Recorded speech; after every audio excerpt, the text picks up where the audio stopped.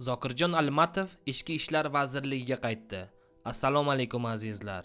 1991-2005 yillarda o'zbekiston respublikasi ichki ishlar vaziri bo'lgan general polkovnik zokirjon almatov o'zbekiston respublikasi ichki ishlar vazirligiga qaytdi. Ma'lum bo'lishicha almatov ichki ishlar vaziri po'lat bobojonovning maslahatchisi lavozimiga tayinlangan. Zokir almatovich almatov 1949 yil 10 oktyabr kuni toshkent viloyati zangiota tumanida tug'ilgan. 1971-1988 yillarda toshkent viloyati ichki ishlar boshqarmasida turli lavozimlarda xizmat qilgan. 1988-1990 yillarda parkent tumani ichki ishlar bo'limi boshlig'i 1990-91 yillarda viloyat ichki ishlar boshqarmasi boshlig'i.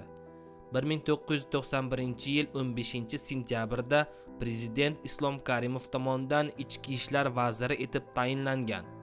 2006 yil 5 yanvar kuni ishdan olingan.